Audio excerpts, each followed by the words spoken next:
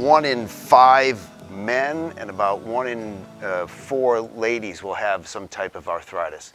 The short-term effects are pain, you've got the swelling, you get the redness.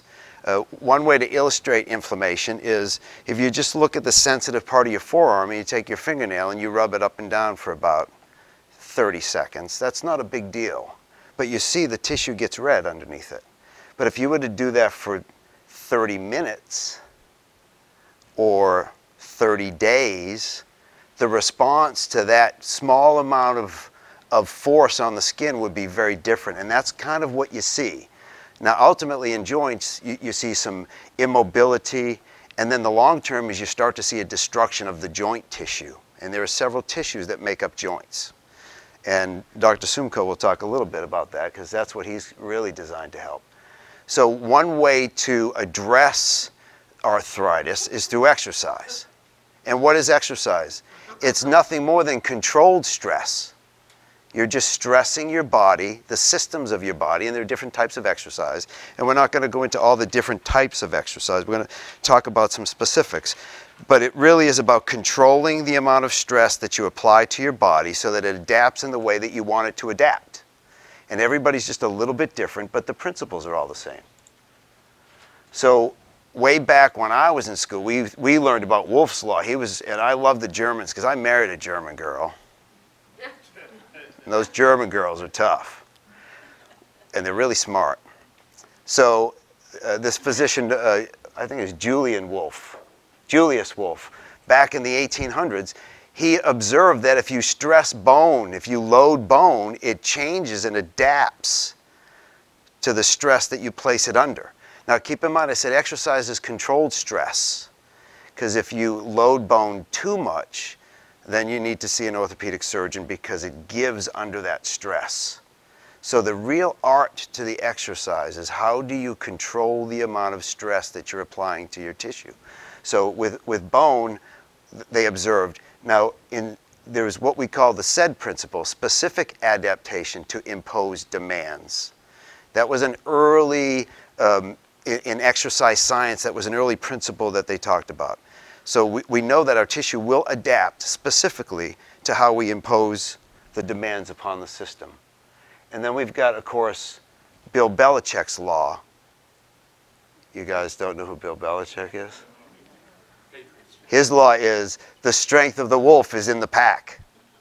So keep in mind that one of the things you want to do with exercise, we'll talk about this a little bit more, is have a partner and have someone that you can work with, that can encourage you, that you can talk to, that you can bounce ideas off of. So the different kinds of mechanical stress, we got compression, tension, shear. Shear is one of the, uh, the stressors that can create problems in the back, but it's also one of the stressors that can help a joint heal. Because joints, the end of the bone, if, have you ever popped off a chicken leg and you see that white, shiny stuff? Well, that's the articular cartilage part. And that will will, it does grow. There are cells, the, the, uh, the chondroclasts that create uh, cartilage cells grow through a certain amount of compression and gliding. So that's where movement of joints can be really helpful in, uh, in especially joints that have some measure of arthritis. So we're going to talk about how you kind of tease that out and how you respond to how much arthritis you have. And then you've got bending, torsion, and of course, some fatigue. There's a lot of factors that affect how you respond to exercise. So we have a pretty diverse group here, different ages, different sizes, different genders, and each of us will respond differently. We're going to talk about what the common elements are, and then later on I'm going to give you some exercises, and I'm going to give you some choices to start with in terms of exercise. Uh, one of the things that's really important is the psychological and cognitive factors in exercise. You know, I come up here and Kelli gets to talk about chocolate, I talk about exercise. And what happened? Everybody immediately groaned, right? Because it's work. But it's not always work, and you, you, there are ways to make it fun. It is always work. I'm sorry. I'm just trying to mislead you. Um, but it, it can be fun.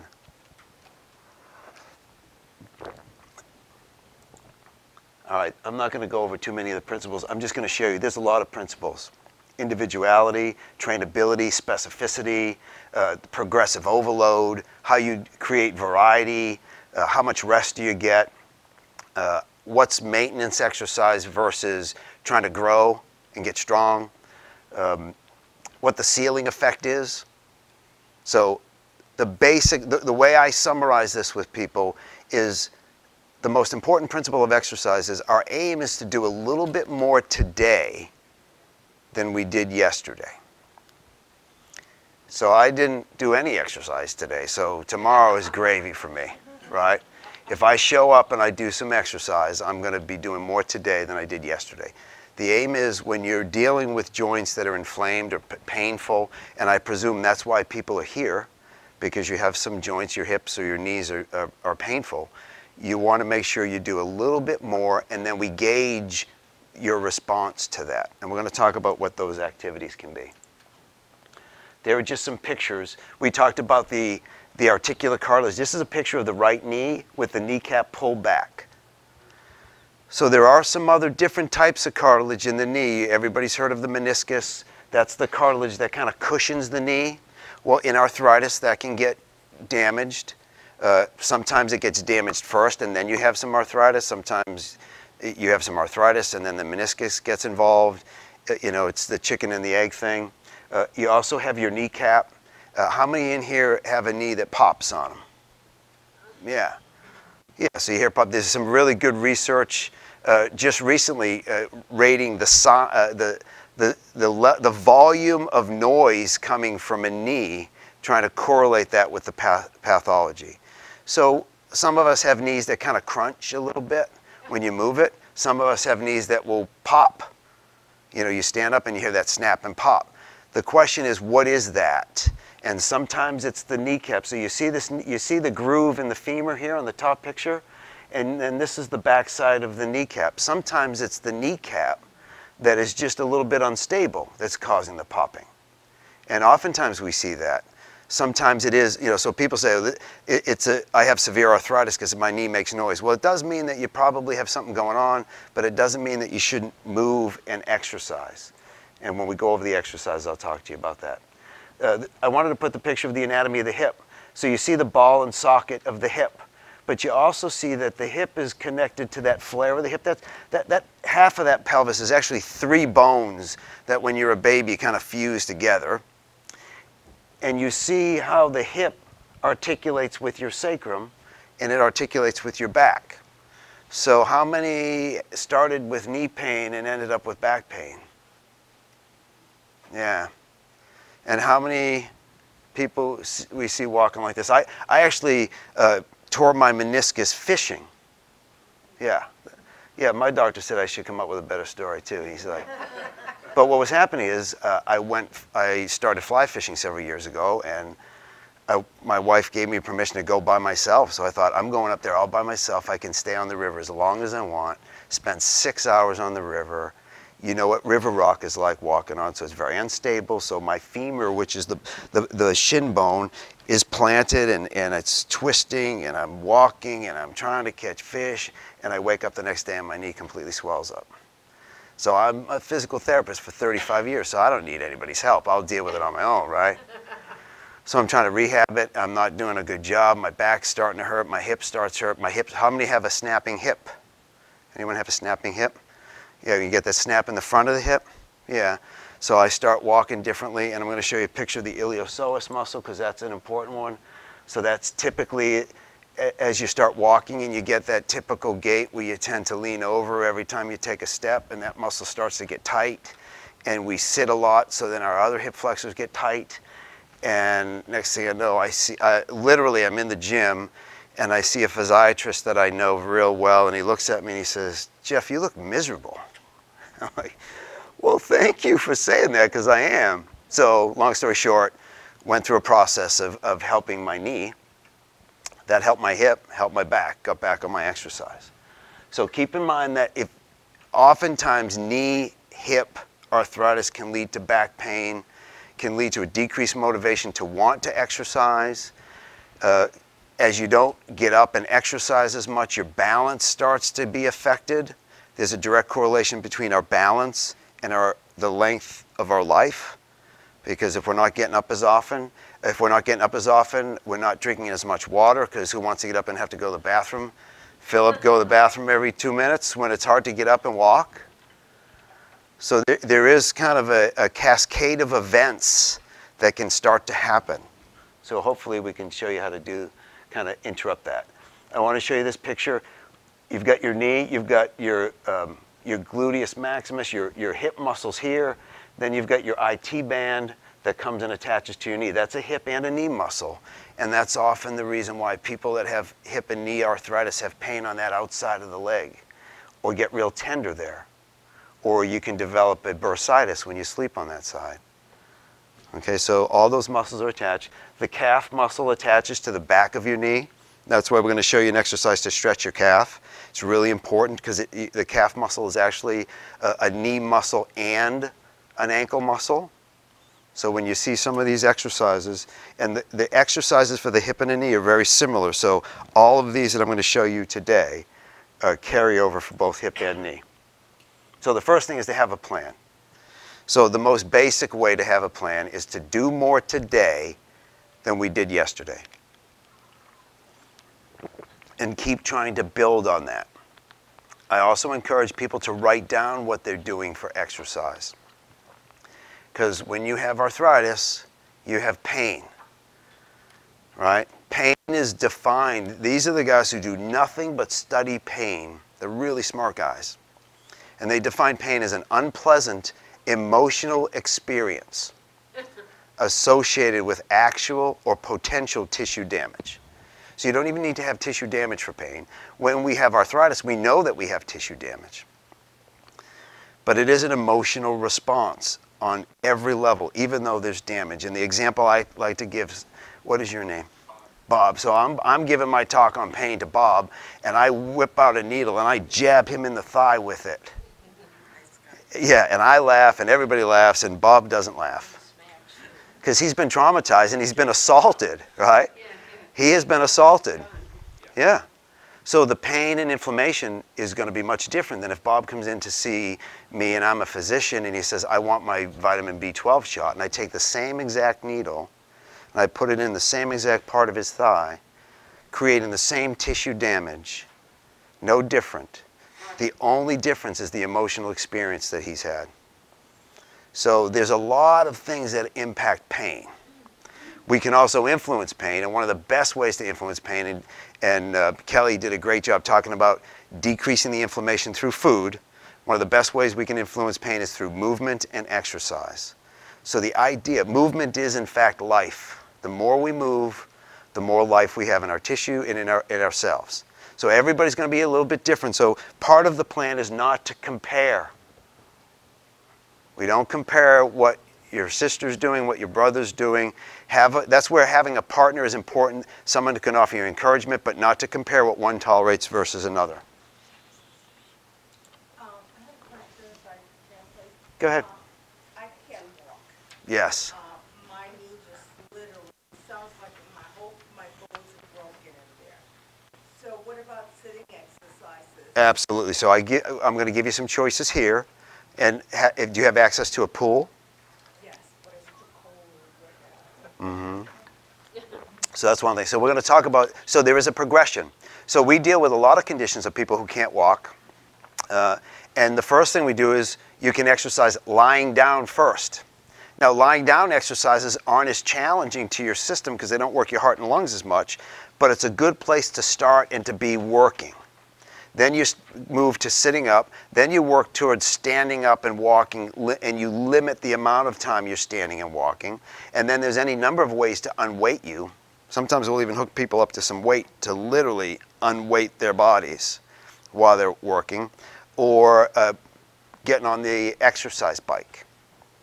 So there's a lot of ways to, to minimize the stress because exercise is controlled stress. So you can control that stress in many different ways. The other thing to keep in mind is fatigue. So when you fatigue, one of the things you want to make sure, so a couple things can influence pain, your nutritional level, your hydration level, how tired you are, the, the amount of emotional stress you're experiencing, all that stuff kind of in your in your limbic system there's an area for pain because that's where pain is processed is in your in your brain.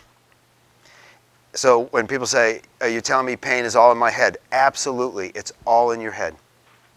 Even though there's a stimulus in your foot. So what happens is in your limbic system, there's an area, and once that area is full, it's going to overflow. So if you're having an argument with your spouse and you're late on your bills and you have arthritis in your knee, it's going to take much less stimulus to create the pain. So keep that in mind. So making sure that you listen to the level of fatigue that you have, you're staying hydrated and you're getting good nutrition. Okay? That's going to be important for any recovery of any exercise program. Okay, so one of the best things that you can start with with hip and knee arthritis is the stationary bike. Now, there are some people that have a hard time with the stationary bike even. So we have an upper bike, you know, so there, there are different, each person is different. In terms of impact on the joints, this is a good way to work your heart and lungs, particularly with the hip. Sometimes if you don't have enough mobility, but you want to adjust the seat correctly, but it really is a good exercise. Okay, so let's take out your handouts. So one of the principles is to record what you do. So I gave you a card to record what you do. Okay? And you see, we use this one in the clinic. So we break it up into flexibility and some strengthening. If you can add some cardio exercises, that's really important too. But the challenge when you have hip and knee arthritis, how do you work your heart and lungs? Is you work your, your bigger muscles, it pumps blood to your heart, your heart pumps them out. So that's how you challenge your heart, usually. If you can't do that, then there are other ways to do it by doing uh, circuit routines, working your arms, doing repet repetitive weightlifting with your arms, light weights, many repetitions, uh, slow pace, but you give yourself minimal rest. So if you have any questions about that in terms of getting cardio fitness, uh, let me know specifically. We can deal with that one-on-one. -on -one. But the, the, typical way is by doing, uh, getting on the bike. Oh, that's my, that's a little early. That was.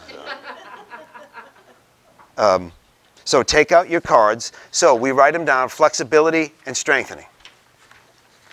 Um, what I want you to do in each of these exercises is I've categorized them, A, B, C, D, E, F, G. So let's just take a look at A. A, B, and C are flexibility exercises. So we try to minimize them because if you do the reality of it with home exercise programs is honestly most people just don't do them. I mean, uh, the research on cardio, uh, cardiac rehab, these are people that have had heart attacks, that have almost seen the face of God, and their compliance rate is about 15%. So it's minimal. And when you have pain in your hip and knee, it's even harder to want to do them. So I, again, I'm not trying to shame anybody. I'm just saying that's just the reality of it. It is, it's hard. When my knee was hurting, it was, it was hard to want to exercise. But what I want to encourage you is that the more you move, the better you'll feel within reason depending upon the individuality of, of what you got going on in the joint. Some, and that's, like I said, Dr. Sumko will talk about when you get to the point where you just can't move anymore. But early on in the process of, of joint inflammation, the more you move, the better you'll feel. Not just emotionally, but physically. Yes. Yes, that's right. Like banging your head on the wall. Always feels good to stop. Yes. So what I want you to do is take out your sheets. So we've got, I want you to pick, just to start. You're not to do all of these initially, but just to pick one. So look at, look at A. A shows you, uh, you know what, my bad. I mislabeled it. So look at exercise one. Yeah, that's right. So A is a seated calf stretch with a towel. So you got exercise one, exercise two, and exercise three. Those are three different ways to stretch out your calf muscles. One of them is with the belt while you're seated in the chair. The other one is while you're standing against the wall, and the other one is standing, standing with a towel under your foot. Now you could also do the belt while you're lying down, There's any number of ways to do it. I wanted to just pick three to say if, for example, you have difficulty standing, then you can do the one while you're seated. Okay? So you want to pick one of those. Stretching muscle. Now, keep in mind that muscle has a lot of elastin in it. So if I if I disconnected, it was Bob, right? If I disconnected Bob's Achilles tendon, I could probably stretch it to me. So when you're stretching that calf muscle, you're stretching a lot of tissue. But the key is when you're stretching your calf, you want to feel it in your calf. And what you're doing is you're inhibiting that muscle and you're getting it to relax and you're increasing the circulation to that tissue. Okay? So with all of the stretches, you're doing them about a minute and a half total. So people want repetitions. Three repetitions, 30 seconds. But about a minute and a half total to relax, get a prolonged stretch. You feel it in the back of your calf.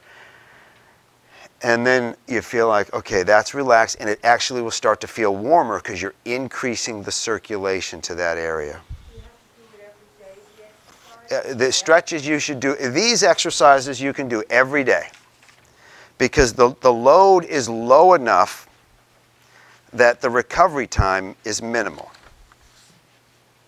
Again, the one caveat is if, if one of these exercises, if you have a problem with your knee and it inflames your knee to the point where it's more red, more swollen, and more difficult to stand, then we want to talk about how to adapt it even more. Okay? Because some of the functional things you want to look at is how difficult it is to get out of a chair, going up and down stairs.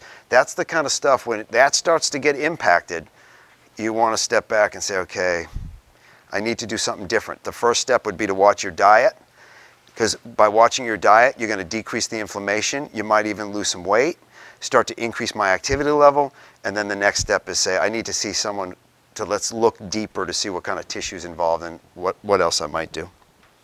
Okay, so then when you look at B, those are hamstring stretches. So you've got exercise five, exercise six. Those are two different ways to do some hamstring stretches. Because again, I showed you that one picture. Your hamstrings are a hip and a knee muscle.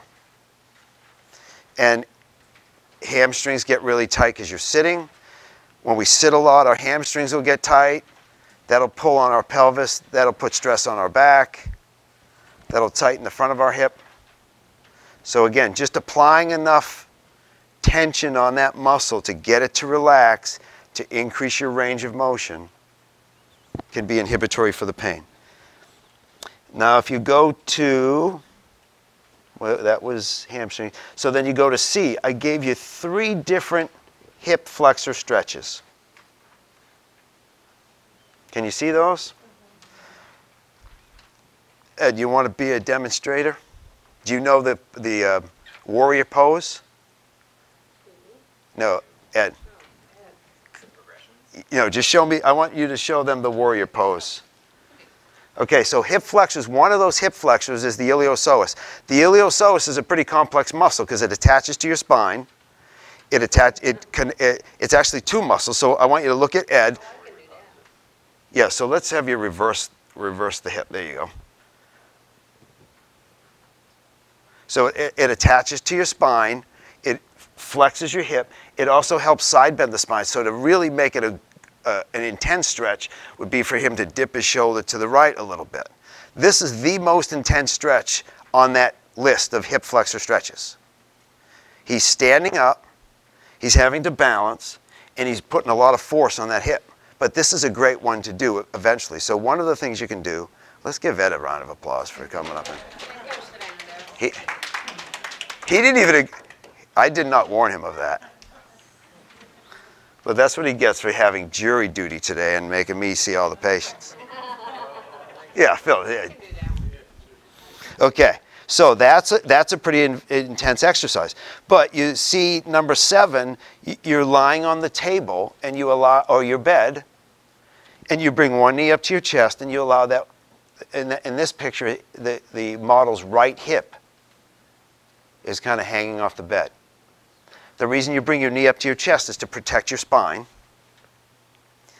Now, I would suspect that there are some people who can't even do that exercise. So even if you don't have it hang on, off the bed, you can have it lie on the bed and bringing that knee up to your chest.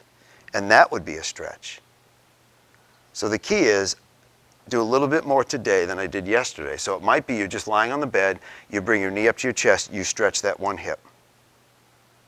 That'll, eh, for some of us that have the snapping hip in the front, that'll help solve that. Okay, so you, now we're at the hip flexor stretch. Now we're looking at some quad strengthening. So our quadriceps, so I showed you the picture of the kneecap. Some of the pain, not all of it, but some of the pain, and early on, the pain that one gets with knee arthritis is you have some swelling, you have some pain, that kneecap becomes unstable because the kneecap, if you imagine that femur, it's like the, my knuckles here. There, there's a groove that that, that, that uh, patella or that kneecap glides in, and if it's and it's it's pretty much freestanding. There are some tissues that that hold it in place, but as those muscles get weaker, it gets a little sloppy in there, and it can become painful. So by by strengthening your quadricep muscles, it can help. Now, there's a lot of ways to strengthen your quadricep muscle. So these exercises here are presuming that we're, not, we're at a pretty low level of strength, and we can talk about how to progress them. But what you'd want to do, and I show you pictures in exercise 10 and exercise 11. So 10 is a little more aggressive than number 11 because 10, you can see if I'm sitting here, and hopefully, oh, it won't pop, but it crunches a little bit. If I'm sitting at the table and I'm moving my foot through gravity, I'm moving the weight of my leg. Whereas through a, a larger range, whereas number 11, you're just going to put a towel under your knee and you're going to tighten up your quadriceps. Again, that's enough to facilitate that muscle and to get it going, to get your knee moving.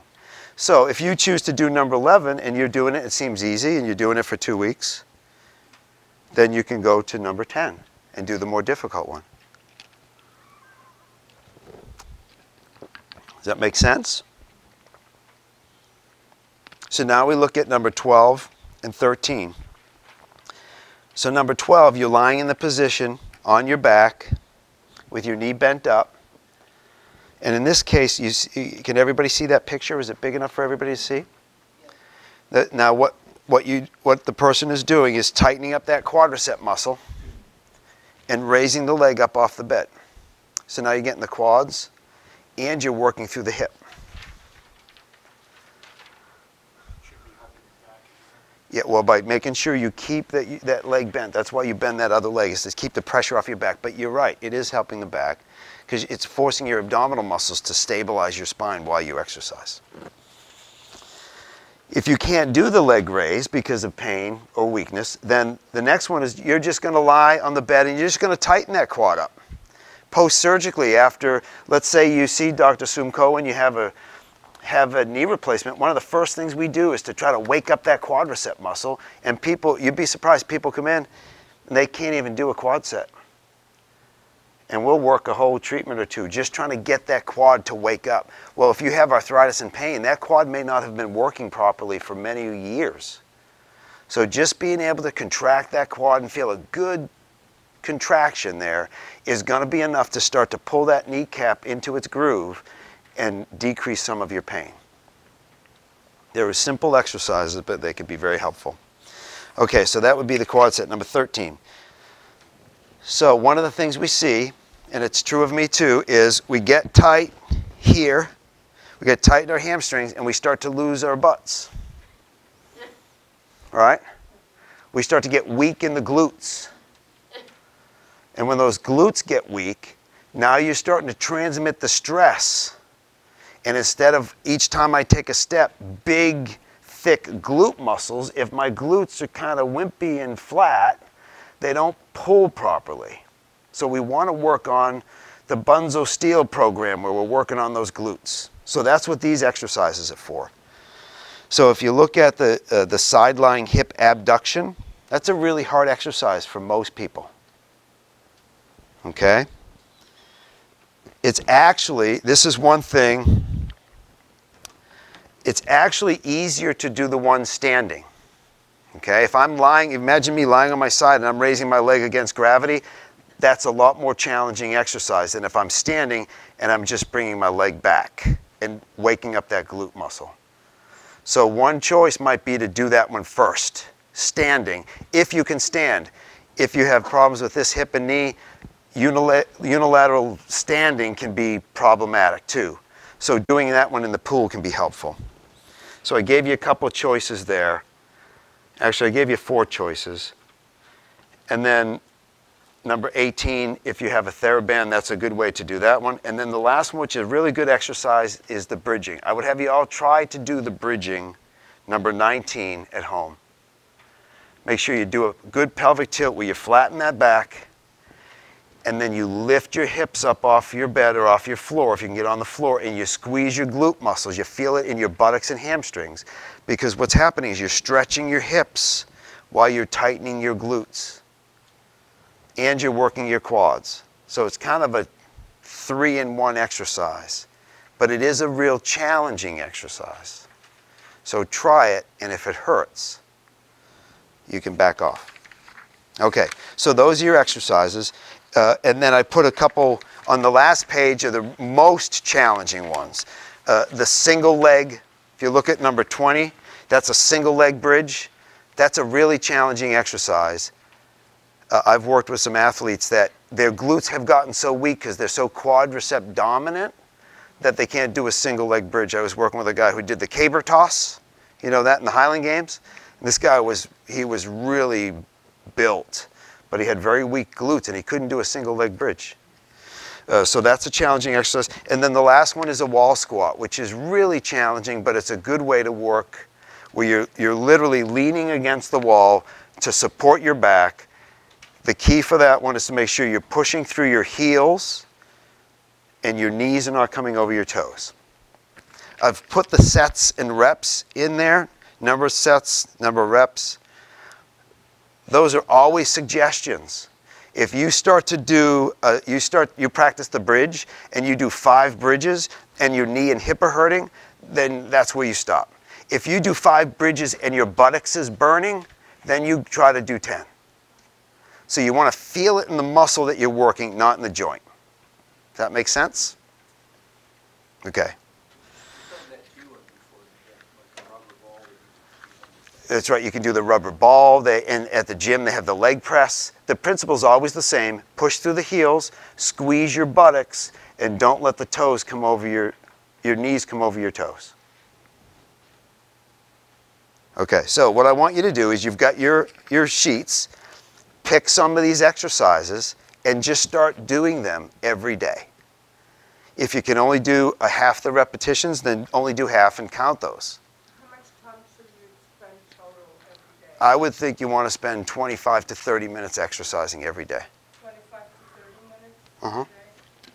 If you picked one of these and went through it, it would probably take you about 30 minutes. If you took your time, you did all the repetitions, it, you minimize the rest in between. Is there an association between your weight and how much pressure is on the knee? Absolutely. And it's a direct correlation, yes. Is there like, how many pounds per pound? You know, I, yeah, he'll know that one. And I used to know that one, and I just know that yes, there is. And, and one of the things we try to do at our office, our promise in our office is to, with unconditional positive regard, to meet people where they are and help them move forward. So we treat a lot of people that have back, and there's a direct correlation between excessive weight and back pain. And people know that when they come in. They, you know, I've had people come and say, I know I'm fat. And I say, okay, well, I, whatever it is, we're going to help you move forward. You can still be overweight and fit, but it certainly will make a huge difference. And once the joints start breaking down, then it, it, it gets to the point where it becomes urgent to start to drop some weight. I just have one suggestion. Yes. Um, for people that are older, like us, She's most, talking about herself. Yes. most, um, insurances, they, they, um, they can pay for your gym Yes. and the Silver Sneakers program. Yes. is an excellent way of It is a great way. Body for an hour, Yes, several times a week. you're absolutely right. It's free, Yep. so. So that's a good way to, that's, Not, not, not all the insurances have, so to speak. yeah, you have to look. If you have a Medicare, some of the Medicare replacements will. All right, any other questions? John? The plank is a great exercise. It's kind of an all, overall exercise. The challenge is you have to do it, if you can't do it properly, because it involves your shoulders, your neck, your back, your hip. And if there's a problem doing that, if you, if you don't do it properly, but if you can do it properly, it's a great stabilization exercise, absolutely. Yeah, Um, you have on here the, view the videos. yes. Um, so if you get on the site, are these the only videos that you have a video number? No, we, uh, yes. Most of these will have videos, and if we get your email address, I can email you, the, and I think we're going to get, did everybody give your email address when you registered? Okay, so if you did, um, I can email you this, and when I email it to you, there'll be a link, and then when you click on it, it will demonstrate the exercise for you. So I'll just routinely do that. Whoever, whoever left their email address, I will email you this sheet. Yeah. Thank you for that. Okay, well, thanks for your time. Uh, I want to introduce Dr. Sumko. He, you're going to really enjoy his, his talk.